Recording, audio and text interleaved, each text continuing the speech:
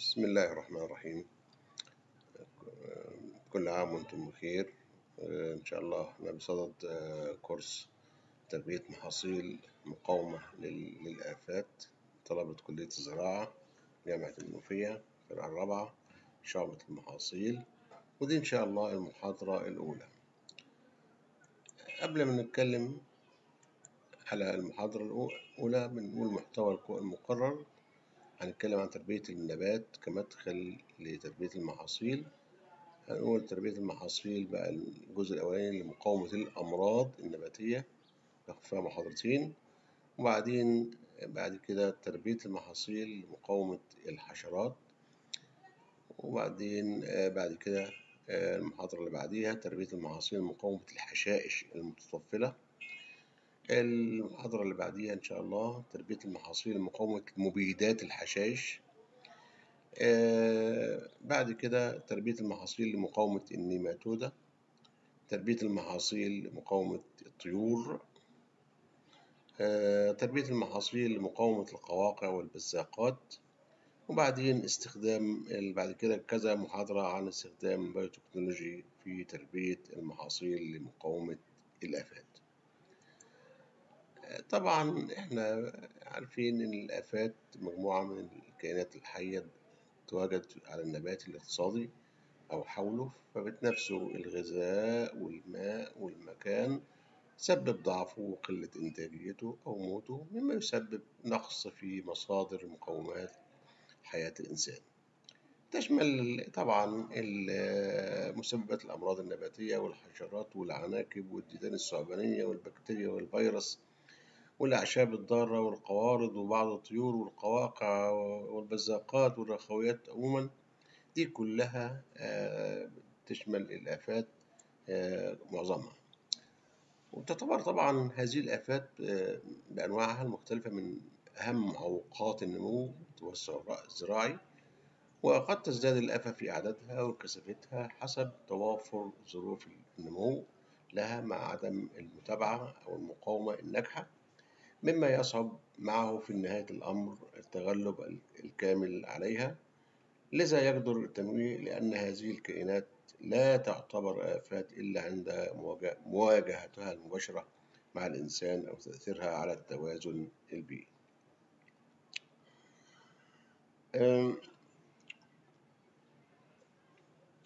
تزداد الخسائر دي طبعا عند ظهورها بأعداد كبيرة نسبيا في البيئة الزراعية كما يتبين حجم الخسائر من منطقة لأخرى تبعا لشدة الإصابة والمعاملات والوسائل الاعتيادية المتبعة في مقاومتها. ومن المعروف إنها بتهاجم طبعا النباتات بسبب خسائر باهظة في الإنتاج الزراعي في مختلف بقاع العالم. طبعا وفي الآخر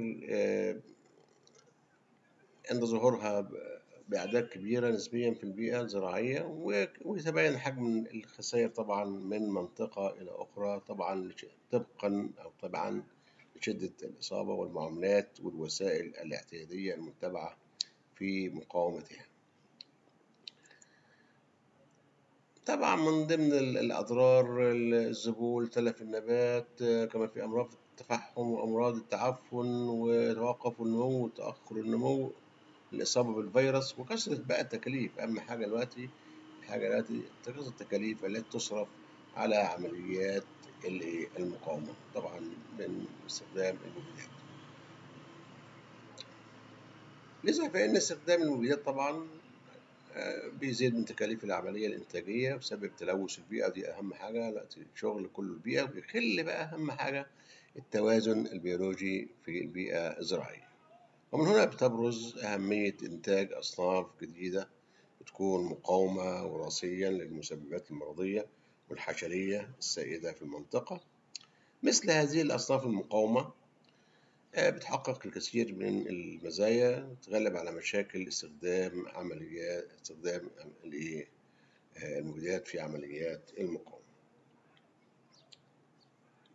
واحتمال ظهور سلالات جديدة على الدوام من المرضية يجعل من الضروري استمرار عمليات التربية للاحتفاظ بالمقاومة. يعني ما ينفعش برنامج نطلع صنف مقاومة ونقف على كده لا لابد من استمرار زي هنقول بعد كده. ومن الواضح أن اختلاف السلالات في قدرتها على إصابة عوائل مختلفة ترجع إلى اختلاف تركيبها الوراثي واحتمال ظهور سلالات جديدة. بيجعل من الضرورة زي ما قلت دلوقتي استمرار عمليات التربية للاحتفاظ بالمقاومة.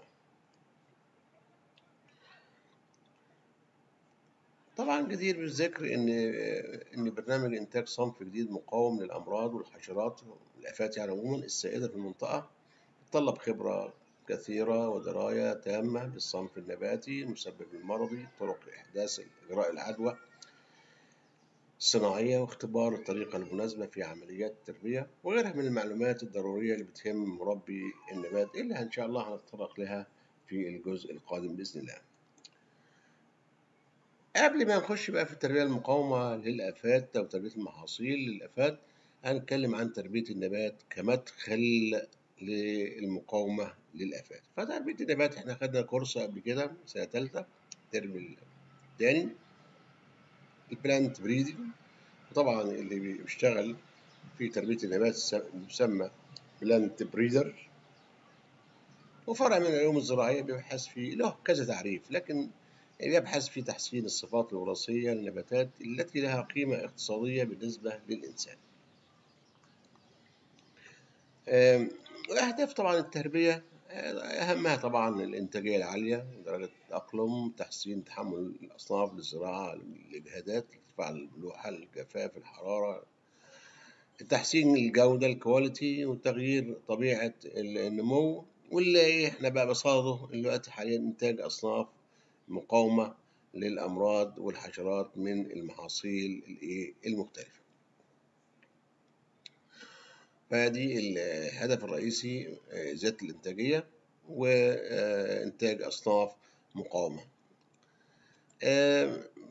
عشان برضو نبقى عندنا فكرة سريعة عشان هنتكلم في حاجات بقى تفاصيل هنتكلم بقى عن طرق التكاثر وعارفين طبعا إن في تكاثر جنسي وفي تكاثر لا جنسي.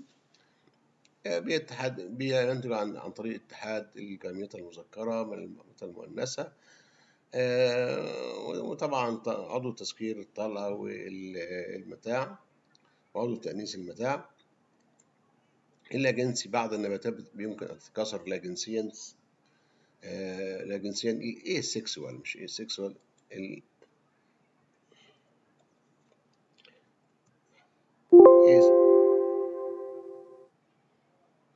asexual reproduction دون أن تمر بعمليات الانقسام الميوزي تكوين الجاميطات والإخصاب وده بعدة طرق يمكن منها عن طريق التكاثر الخضري والتكاثر اللاجنسي عن طريق تكوين البذور. هما تلقيح في النباتات برضو عموما عارفين طبعا في تلقيح ذاتي وفي تلقيح خلطي حبوب لقاح نفس الزهرة بتلقح بويضات نفس الزهرة تنتشر في القمح والشعير القمح والشعير والكتان والأرز. آه، تلقيح خلطي أي حبوب لقاح تلقح زهرة أخرى على نفس النبات أو على نبات آخر ودي بتنتشر في محاصيل الذرة الشامية والأساس دوار الشمس والنخيل. التركيب اللي بيشجع التلقيح الخلطي طبعا بقاء الزهرة مقفلة نضج حبوب التلقيح والإخصاف في وقت واحد. وجود الأنبوبة السدائية محيطة بالميسم وجود تجمع الأزرية بشكل مخروطي حول الميسم مثل الطماطم. التركيب اللي بيشجع التلقيح الخلطي طبعا تكون ذرات dioecious يعني ثنائية المسكن أو حتة المسكن واخد بالك؟ زي الذرة. تفاوت نضج أعضاء التذكير والتأنيس يعني حبوب اللقاح والمياسم في الزهرة. تركيب الزهرة وموضع الأسدية بالنسبة للزهرة أو في تكون في ظاهرة عدم توافق الذاتي أو العقم الذكري ماشي يا جماعة؟ آه طيب إيه بقى هو عدم التوافق الذاتي الجنسي أو الذاتي؟ بيصليه إن تكون جميع أعضاء التناسلية سليمة وتمت تكوين وحبوب اللقاح والبويضات لها القدرة على الإخصاب لكن ما يتمش الإخصاب ليه؟ عشان في وجود مانع فسيولوجي يوقف أو يبطئ يبطئ من نمو الأنبوبة اللقاحية داخل القلم ويمنع عن الوصول إلى البويضة في الوقت؟ المناسب.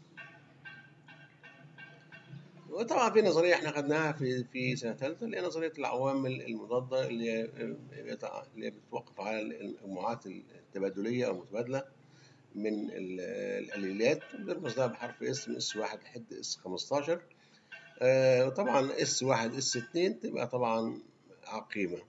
آه لكن عشان تبقى خصبة لازم يكون S واحد S اتنين S واحد S تلاتة وهكذا. آه يبقى قلنا اهوت ادي يكون نمو الانبوبه طبيعيا إذا احتوى S واحد S اتنين أهوت أو S واحد S أربعة أو S اتنين لكن S أربعة S أربعة S تلاتة S تلاتة طبعا دي فيها عقم إيه؟ عدم توافق إيه؟ الذاتي. آه في بقى بيضيفوا للموضوع ده عشان يتغلبوا على حاجة اسمها ال SF أو عامل الايه الاخصاب الذاتي. بيخش في تلقيحات وبعد كده بيبقى فيه انعزال في العوامل الوراثية أي حاجة فيها إس اف اس واحد اس اف تبقى إيه؟ تبقى خصبة إن شاء الله. العقم الذكري طبعا برضو من ظواهر مهمة جدا ودي مهمة عشان موضوع الخصف عدم تكوين أعضاء التذكير في الزهرة أو عدم اكتمال تكوين تلك الأعضاء بدرجة تسمح لها بوظيفتها أي أن حبوب اللقاح بيكون إيه؟ بيكون حي أو عدم قيام الخلايا الأمية بحبوب اللقاح بوظيفة. وفي نفس الوقت بتكون الزهرة محتوية على أعضاء أنثوية في حالة خصبة محتوية على بويضات خصبة وعلى ذلك في الزهرة لا تستطيع أن إيه تتلقى بس سقف إيه خلطي ولكن دي إيه تتم فيها عملية إيه التلقيح الخلطي. آه طيب الحالات بتاعته آه عقم ذكري سيت وراثي على الوراثة يعتمد على السيتوبلازم يعتمد على الحاجات الموجودة في النواة والسيتوبلازم وده طبعا اللي يهمنا في الموضوع ده كله إن العقم عدم العقم الذكري ده بيساعد مربي النبات ودي تكتبها عشان بتساعد مربي النبات إن هو ما يعملش عملية الخصف في حالة النباتات اللي هي محتوى على عضو التسكير والتأنيث وعاوز أعمل فيها تلقيح. تلقيح لها بحبوب لقاحيه غريبة. بستغني عن عملية إيه؟ عملية الإيه؟ الخصف. زي موضوع الرز والقمح وكده. العدد بقى الكروموسومي طبعا عارفين كل نبات بيبقى له 2 إن في إن آه طبعا ال ال العدد الكروموسومات اللي هو في الخلية الجسمية بيبقى 2 إن في النواة بتبقى اللي هي العدد الفصل أو الجميطي يبقى إن إن مع إن مع في في عملية الرسمات تؤدي إلى 2 إن اللي هو الزيجوت وده اللي إيه العدد اللي الكروموسومي أي أن كل نبات له عدد معين. مثلا إذا نقول دلوقتي مثلا ال ال في طرازين آه طبعا هقول كده بسرعة إن إحنا خدنا الكورس ده كله بس ده باختصار باختصار شديد جدا يعني. في الايوبلويد اللي هو التضاعف الكامل بيشمل مجموعة من الكروموسومات في تضاعف غير كامل بيشمل يهتم بالاختلاف في وعاء واحد أو عدد قليل من الكروموسومات التضاعف الكامل إحنا قلنا مثلا التضاعف الكامل بأنه تضاعف العدد الأساسي للكروموسومات. يعني عندنا القمح مثلا القمح بتاعنا آه 42 ده قمح سداسي يبقى ده 6 في 7 يبقى ب 42 كذلك برضو القطن فيه 13 13 13 في 4 للرباعي بيديك 52 لكن إلى هنا نقول بقى العدد الأساسي في القمح 3 6 7 وفي في القطن. فهو أنا إيه طبعا تكتب الكلام ده إن العدد الأساسي لا يساوي العدد الجميتي صح في حالة النباتات الإيه المتضاعفة. لكن لو النبات ثنائي مثلا قمح ثنائي يبقى فيه 2 7 و 14 يبقى اذا هنا العدد الأساسي 7 بيساوي العدد الأساسي العدد الجميطي في النوع الثنائي من إيه؟ من القمح. برسيم كذلك بيحتوي الجينوم على 8 كروموسومات.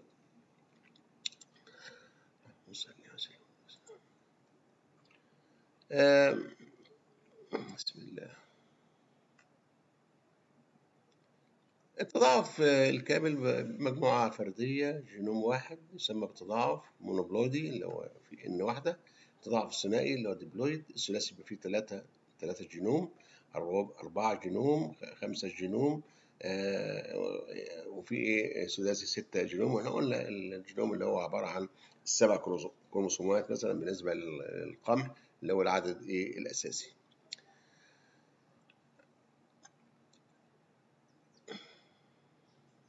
بيطلق على طبعا إن اصطلاح التضاعف العديد أو متعدد تضاعف الأعداد الأفراد أو العشائر يحتوي على أكثر من مجموعتين جينومتين أو أكثر ثلاثة أربعة أو خمسة.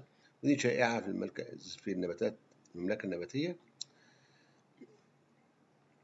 ماشي. وتضاعف يعتبر يعني ناتج من الهجن إيه النوعية المتعددة. التضاعف الذاتي ده بقى ذاتي يعني إيه؟ يعني فيه جينوم واحد بس اللي هو إيه؟ هتلاقي جينوم ده ثنائي أهوت ممكن يبقى في ثلاثي منه في رباعي في خماسي. يعني أي رباعيه التضاعف الذاتي auto auto يعني ذاتي tetra أربعة رباعي ploid اللي هو تضاعف. بيرجع طبعا ده لانشقاق الكروموسومات في بعد مرحلة الانقسام الاختزالي ثم عدم حدوث انقسام للخلايا بعد كده. يعني الخلية غير مختزلة. خلية غير مختزلة مع خلية غير مختزلة يديك آه تضاعف إيه؟ ذاتي. يعني يبقى أربعة آه أوتو اللي هو زي زي الأربعة أوتو تبلويد التضاعف الهجيني بقى ده هجيني بقى يعني بقى اتنين بقى. مثلا باختصار كده هجينا ما بين نوع إيه جينوم إيه طبعا ده كبيرة كبيرة يديك جميطة A ونوع آخر BB يديك جميطة B. هجنتهم يطلع الجيل الأولاني إيه A مع إيه؟ مع B يديك AB طبعا ده غالبا عقيم. عقيم ليه؟ لازم تبقى عارف العقيم ليه؟ لأنه في فردة واحدة بس مفيش زوجية. مفيش زوجية. طبعا لفشل مجموعتي الكروموسومات في التزاوج أثناء الانقسام الاختزالي أو إذا حدث بقى الحالة الثانية الهجيني زي ما قلت لك من شوية إن اتحاد جامدتين غير مختزلتين من نوعين ثنائيين مختلفين يؤدي ذلك إلى إنتاج مثل هذا التضاعف الهجيني في خطوة واحدة. في بقى تضاعف كروموسومي غير كامل اللي بس أنيو أنيو يعني غير كامل يعني في 2 إن ناقص واحد 2 n ناقص 2 ناقص كروموسومين يعني mono null null يعني null يعني zero صفر يعني مفيش يعني زوج كامل مش موجود ده ناقص كروموسوم ده ناقص كروموسوم من من من زوج وناقص كروموسوم من زوج تاني ده tri يبقى 2 زائد واحد tetra 2 زائد 2 mono tri 2 زائد كروموسوم من فردة زائد كروموسوم ناقص كروموسوم من إيه؟ من فردة أخرى. الفعل الجيني بقى ده مهم جدا طبعا الطرف اللي هو السيادي والفعل المضيف والفعل السيادة الفائقة والتفوق. طبعا السيادة علاقة بين الأليلات نفس الموقع الوراثي. افتراض ان السياده تامه في صفه ارتفاع النبات فإن النبات اللي بيكون تركيبه كبيرة صغيرة يساوي ده بالظبط. ماشي؟ آه الطريق المضيف علاقة بين الالات نفس الموقع موقع واحد بس. يعني شفنا ديت؟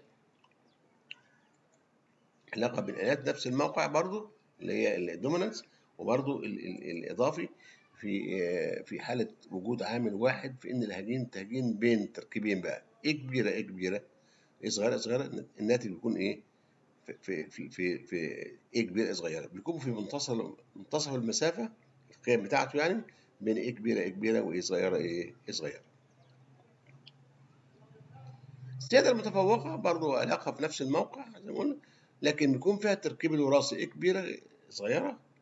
يتفوق في قيمته على تركيب إيه كبيرة إيه ده ودي طبعا نظريه من ضمن نظريات قوة إيه الهجين اي ان التفاعل بين A و A يؤدي لإحداث زيادة في قيمة الإيه؟ قيمة الإصابة. التفوق بين آلات بقى جينات مواقع مختلفة يعني يعني بين موقع A وموقع B وموقع C ودي بتظهر فيها النسب اللي هي 9 ل 7 9 ل 3 ل 4 في حالة في حالة موقعين وراثيين أو 15 لواحد هم إيه 16 تركيب والنسبة للتفاعل بين جينات موقعين خلي بالك هما موقعين وراثيين إيه مختلفين. بعد كده بنتطرق برضه إحنا قلنا بنتكلم على الوراثة أو كمدخل أو التربية كمدخل لتربية مقاومة للآفات. بنقول آه، درجة توريث قدرة على توريث صفة ما من النبات إلى نسلة أو مقدار ما يساهم به التركيب الوراثي التصنيف الكلي. ويوجد نوعين من الكفاءة الوراثية درجة توريث بمعناها العام وفي درجة توريث بمعناها الخاص أو المحدود. العام عبارة عن التباين الوراثي إحنا خدنا قبل كده في حاجة اسمها التباين بي التباين الوراثي بيقول التباين ال- ال- ال- ال- ال- درجة التوريث بتساوي التباين الوراثي مقسومة على التباين الوراثي زائد البيئي اللي هو الكل يعني. هو ده البيئي زائد الوراثي يعتبر إيه؟ كل. فبنقسم التباين الوراثي ال- الوراثي على التباين الكلي اللي هو بيشمل التباين البيئي والتباين إيه الوراثي. دي بالمعنى المحدود ممكن تجيبها بالطرق دي المختلفة. آه، المحدود المحدودة بقى عبارة عن إيه الجزء المضيف اللي إحنا كنا بنتكلم عليه من شوية من شوية الاديتيف اللي هو سيجما سكوير طبعا التباين الجزء المضيف على التباين الكلي بقى اللي هو بيشمل المضيف والسيادي والايه والبيئي. ماشي يا جماعة؟ باختصار طبعا الكلام ده كله. آه ودي برضو نحسبها في الأجيال المختلفة. بنقدر أهميتها بقى اللي مقدار مقدار آه، معرفة مقدار التشابه والقرابة بين الأفراد عن طريق معرفة نسبة المكون الوراثي قياس كمية فعل الوراثة وتأثير البيئة كانت صفة تأثر بالبيئة من عدمه معرفة التصنيفات البيئية وفصلها عن التصنيفات الوراثية قياس آه، مقدار التجمع اللي هو الجزء ال additive والجزئي من التصنيفات. تعتمد بقى برامج التربية يعني كل الأبحاث هتلاقي كل حاجة الكفاءة الوراثية أو ال heritability ومدى التحسين المنتظر على درجة التوريث ومقدار التأثير الإضافي. لأن التأثير الإضافي ده اللي هو اللي بيورث. لكن ال dominance واللي هو ال epistasis ممكن إيه يضيع في الطريق. برضه تربية ال- النبات عبر العصور طبعا ديت يعني طبعا كان في علماء وناس أفاضل جدا شغالين في هذه الموضوعات وشفنا بقى الذرة كان شكله إيه في ال- الأول لحد ما اتطور وبقى ال modern corn دي كانت حاجات intermediate في, في الوسط يعني نزود crop productivity. آه، طبعا increase plant yield العقبات طبعا إن أنت تنقل ال- الحاجات دي كلها لل- للبيئة فعاوزين نزود increase plant plant yield آه، و increase number of edible plants اللي هي النباتات اللي هي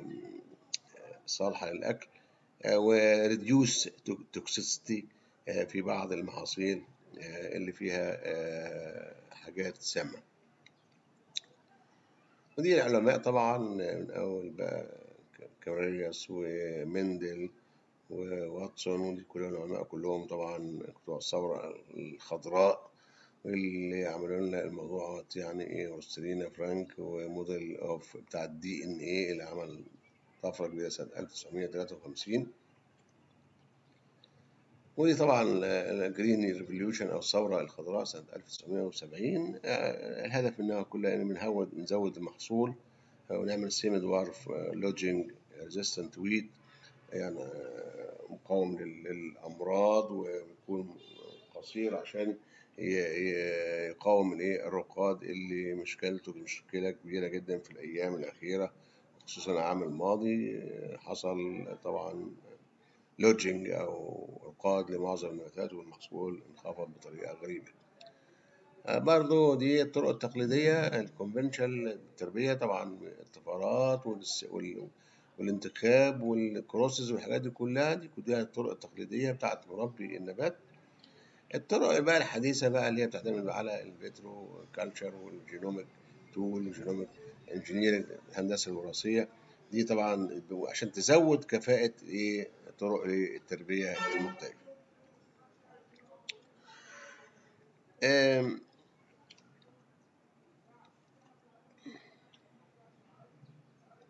برضه ال future challenge العلوم هنا كلها متعددة الحقيقة. العلوم متعددة جدا. العلوم متعددة بطريقة غريبة. يعني البيولوجي وال agronomy وال food quality وال biometry اللي هو الإحصاء الوراثي. وال genetics وال evolution تطور وال ecology دي كلها حاجات مهمة جدا جدا عشان نواجه increase of human population إن كان في 60 80% requiring to nearly double إن إحنا نزود الإنتاجية بمضاعفة الإنتاجية.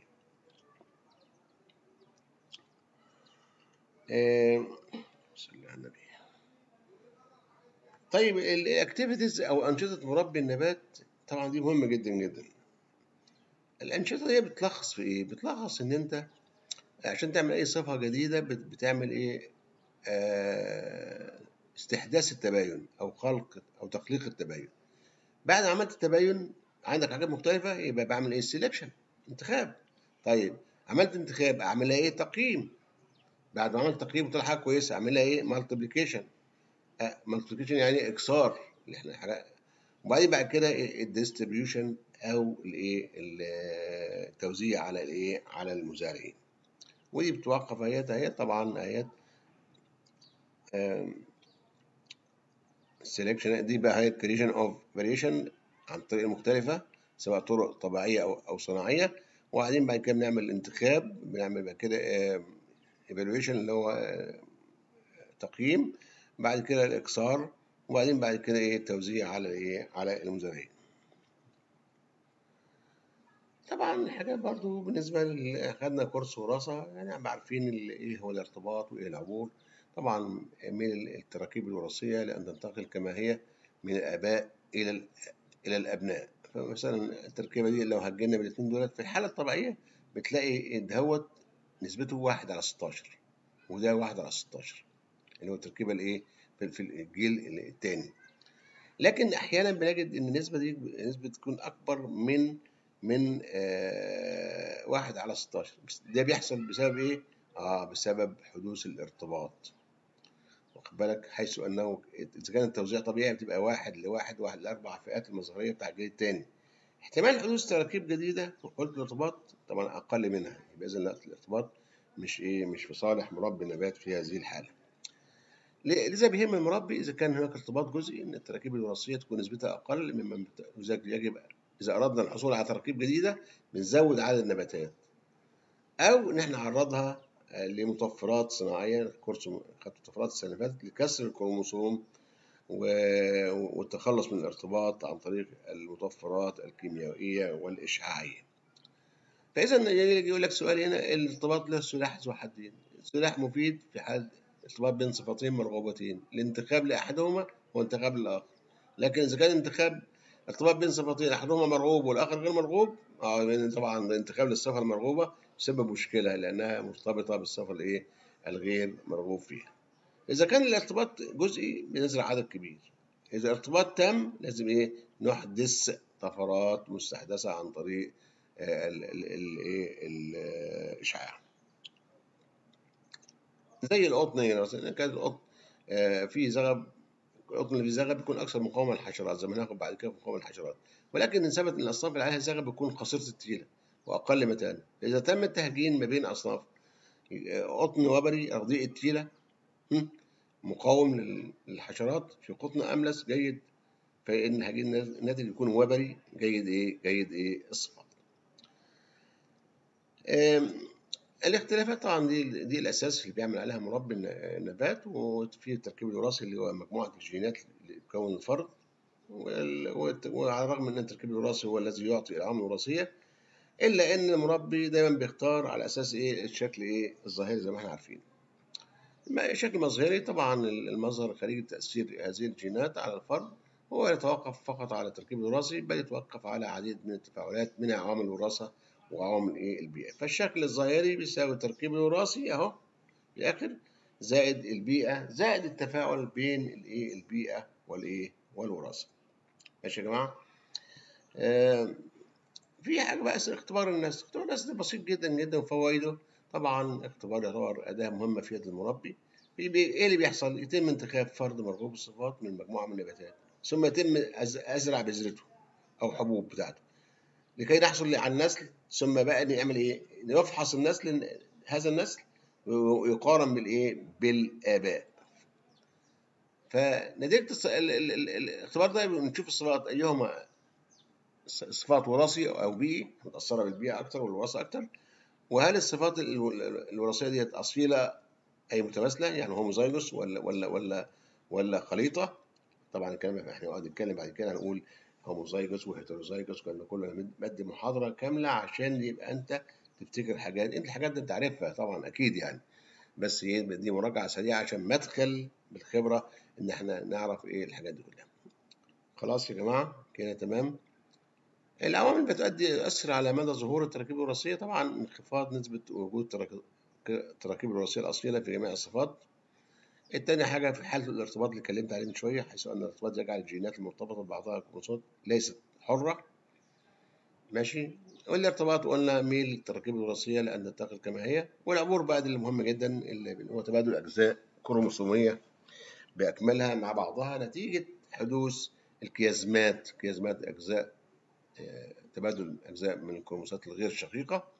وزي الرسم ده اللي بتشوفه الوقت ده دي يمثل لك تركيب طبعا مش مش وراثة لكن الحاجات دي بتبقى عارف أنت يعني إيه عبور يعني إيه كيازمة؟ واخد بال حضرتك؟ فائده العبور طبعا العبور لولا حدوث العبور ما كانش فيه تركيب وراثية جديدة. ماشي؟ يعني ده مهم جدا إن المربي لا يعمل إلا إذا كان في تباينات وراثية زي ما نقول أو قلنا قبل كده بنقول. الفوائد الارتباط قلناها قبل كده. واخد بالك؟ في بقى حاجة اسمها الصفات الوصفية والصفات الكمية. خدتها برضو. الوصفية عدد قليل من العوامل البيئة تأثير البيئة.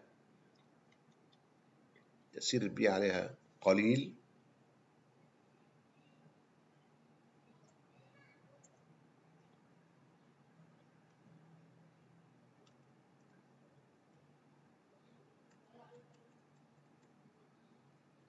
تأثير البيئة عليها قليل.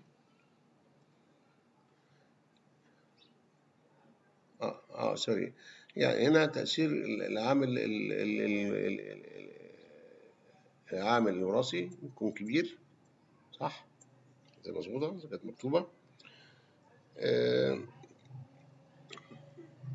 العامل الوراثي يكون كبير ولا يتأثر بالبيئة تأثير البيئة عليها قليل. لذلك يمكن الاستدلال على التركيب الوراثي من الشكل إيه؟ الظاهري. تتبع التوزيعات المتقاطعة معامل التوريث بتاع درجة التوريث اللي اتكلمنا من شوية دي عليها عالي زي لون الزهرة ارتفاع النبات وجود الغدد في القطن. دي الصفات الوصفية بعدين صفات وصفية وصفات كمية. الصفات الكمية يتحكم فيها عدد كبير بقى من العوامل الوراثية. تأثير العامل الوراثي صغير لكن هنا بقى تأثير بيئة إيه؟ كبير. تتبع التوزيعات اللي هي ال normal distribution curve وعامل التوريث بقى بتاعها منخفض بعكس إيه دكه معامله لا يمكن الاعتماد على الشكل الظاهري في الانتخاب إيه للصفات ودي زي زي كمية المحصول وحجم الثمار وخلافه. في علوم بقى ذات صله بالتربيه زي علم الوراثة، علم إنتاج المحاصيل، علم فسيولوجيا النبات، علم الحشرات. وطبعا دي كلها مهمة جدا عشان يقدر الإنسان علم زراعة الأنسجة الهندسة الوراثية. علم الإحصاء وتصميم التجارب وتصميم التجارب.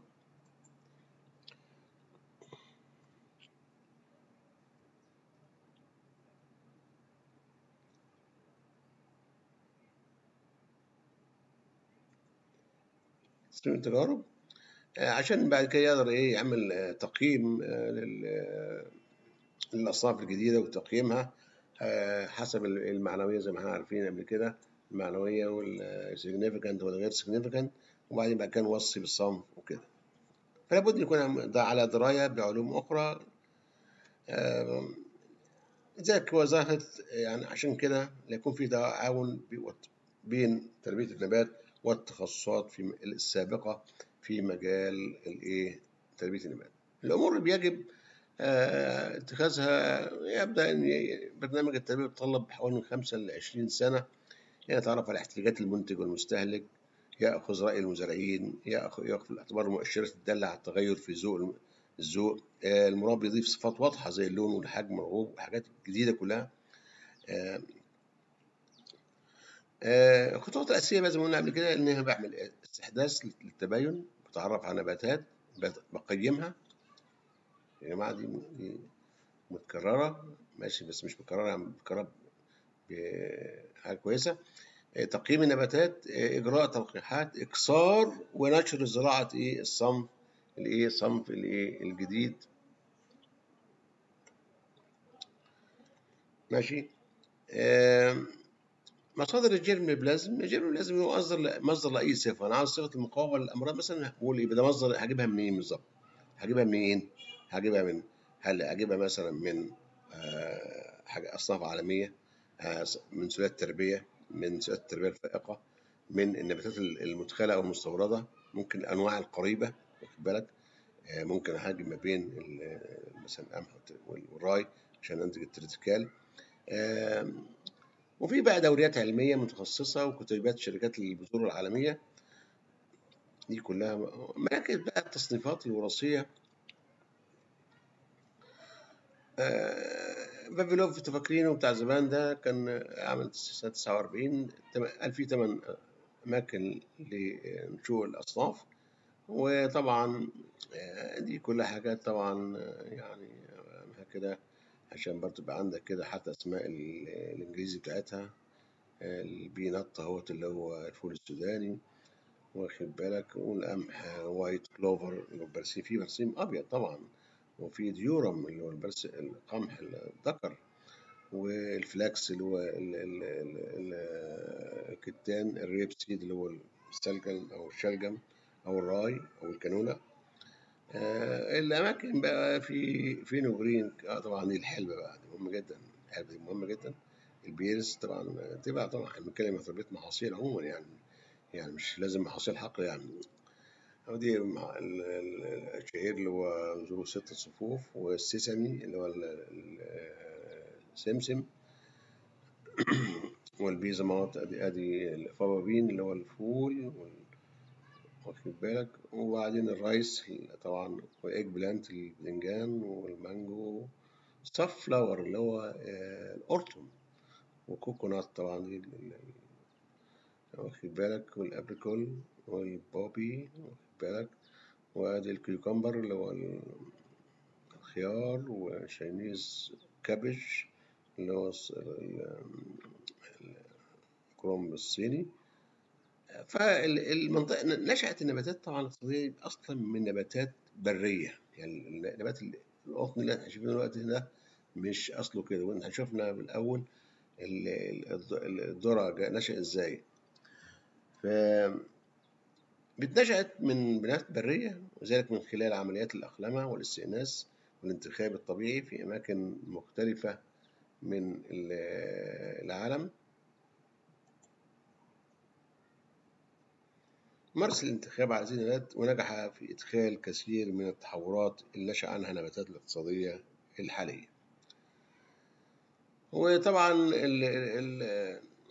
اهتم العلماء الزراعيين بمراكز النشوء النباتات والتعرف على التصنيفات الوراثية عشان أعرف أعرف زي ما قلت لكم دلوقتي ال- المصادر الجيرم بلازما عاوز صفة المقاومة لحاجة معينة بقى عارف هي دي فين بالظبط. ف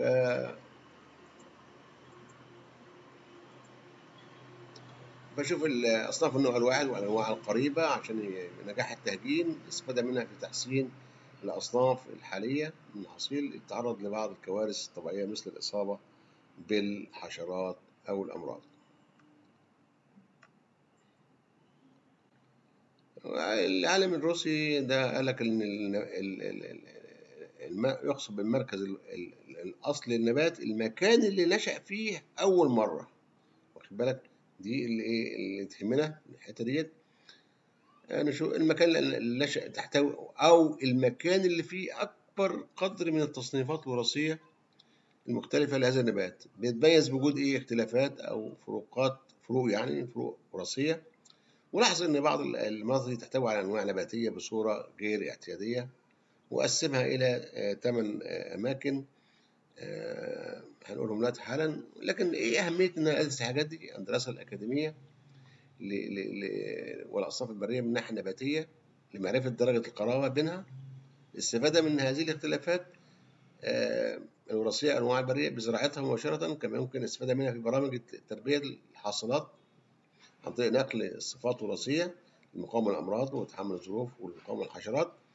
دراسة الظروف آه، البيئية الملائمة لإنتاج المحصول مما يؤدي إلى فهم أعمق آه، لاحتياجات المحصول وفي طبعا في حاليا بنوك لحفظ الأصول الوراثية بتتجاوز تتواجد هذه البنوك في الولايات المتحدة الأمريكية ومراكز البحوث العالمية. وعندنا في مصر حاليا بنوك آه، سيد بنك خد بالك في مركز البحوث الزراعية. انتشار طبعا هذه المحاصيل بتكون طبعا كان انتشار ده في الماضي محدود بأمور طبيعية مثل البحار والمصدر مش عارف والهجرة والكلام ده. ولكن الآن أصبح تحسن واضح والاهتمام بهذه الأمور مسيطر عليها مراقبة من قبل الدول والمنظمات المختصة مثل الفاو وخلافه. يعتبر العلماء إن كثافة الحاجات طبعا يعني حاجات بتهمنا. كأن إحنا نعرف النباتات دي نشأت فين ونيجي مثلا جينا نزرع مثلا فول الصويا سنة 1970 يعني فكرنا في إيه؟ آه فكرنا في المنطقة خط العرض اللي بيزرع فين بالظبط آه في ولاية الولايات المتحدة في ولاية كذا فكرة إحنا جبنا فعلا الأصناف هناك عشان تلائم إيه النمو هنا.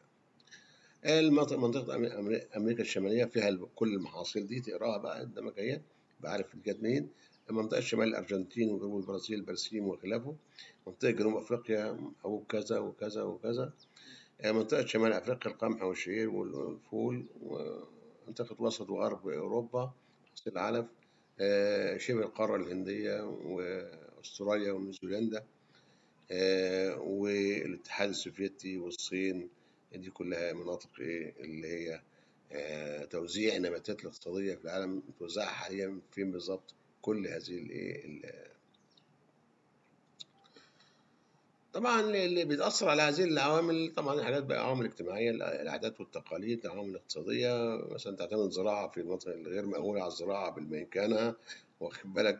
وإلى جانب ذلك بإعادة عوامل التسويق زيادة الطلب على محصول يتطلب بعض المحاصيل أسواق قريبة للتسويق. آه، بعضها يحتاج إلى تبريد وحفظ ومتوفر الآن. التصنيع برضو بيساعد في التوسع الزراعي والأيدي العاملة ورأس المال والسياسة الزراعية للدولة. برضو أخذنا في كورس تربية النبات آه، طرق تربية المحاصيل الذاتية قلنا الاستيراد الانتخاب الإجمالي. أخذناها بالتفصيل السنة اللي فاتت. انتخاب السلالة النقية التهجين وإنه تهجين نسب تجميع والتهجين الرجعي. المحاصيل الخلطية طبعا انتخاب إجمالي انتخاب على أساس الشكل الظاهري صنف الهجين هجين فردي زوجي انتخاب بقى الدوري ده مهم جدا. في منه ثلاث أنواع البسيط والقدرة العامة والقدرة على الخاصة والانتخاب الدوري المتبادل. خدنا الحاجات دي في الترم اللي فات. وفي بقى طرق تربية المحاصيل. طبعا عندنا في ذاتية في خلطية وفي محاصيل خضرية التكاثر زي القصب والبطاطا. وكثير من الحشائش بتاع العلف بصورة في بقى إن انتخاب الكلونات كلونا كلون دي عبارة عن سلالة نقية من بتؤخذ من النبات الخضري في حالة تحسينه ويطلق عليها clone وطبعا دي تفرق عن ال inbred line وال pure line. inbred line دي في حالة المحاصيل الخضرية خلطية وال pure line في حالة محاصيل